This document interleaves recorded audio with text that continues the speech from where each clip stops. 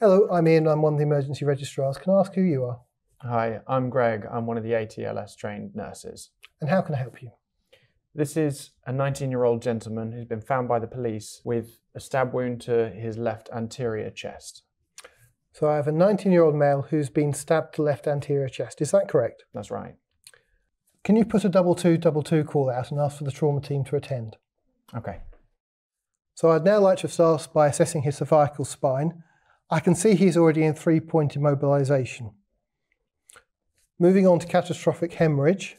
Apart from the obvious blood on his clothing, is there any other blood on the bed or the floor? So exposing the chest, is there any obvious external injury? There's an obvious stab wound to the left anterior chest wall, just above the nipple. And as I have a feel of his trachea, is it central? Yes. As I assess for expansion, is it equal? Reduced expansion on the left. So I'd like to give him some tranexamic acid, and now I've secured IV access, I'd like to proceed with the chest drain.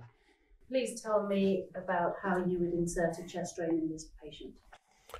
So I would start by identifying my anatomical landmarks, which are pectoralis major,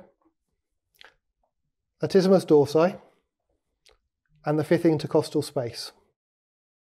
I would now like to contact the surgical team because this patient may require cardiothoracic surgery and the anaesthetic team as he may require further support with his breathing. I'd like to arrange a CT to look from his head to his pelvis for other injuries and I'd like to give him another gram of tranexamic acid. We will transfuse him if he requires it to maintain permissive hypotension and we'll aim to keep him normothermic. Okay, thank you for your help.